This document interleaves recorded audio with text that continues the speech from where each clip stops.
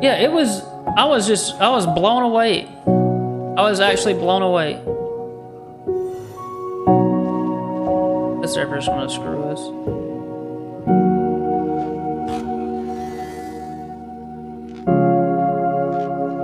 Oh, it's got two of them.